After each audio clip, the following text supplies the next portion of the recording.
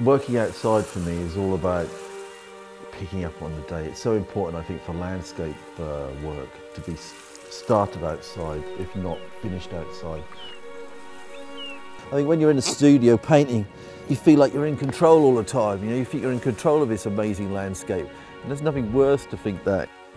It's that thing of coming out and having to deal with the elements and deal with it all and deal with the wind and deal with the rain and you're out of control. It makes you out of control. It makes it, it, it feeds into the painting.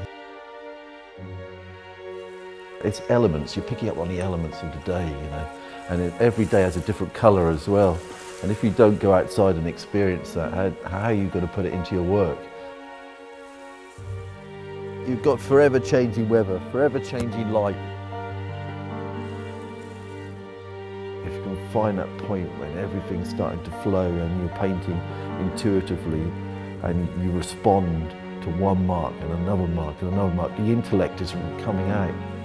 It's virtually like turning the brain off but allowing something much deeper to come out.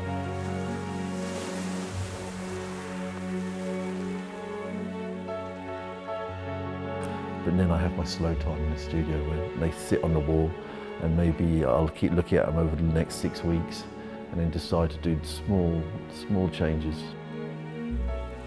There's not many times you can actually do a sort of three metre by two metre canvas. There's not many galleries that will cater for that.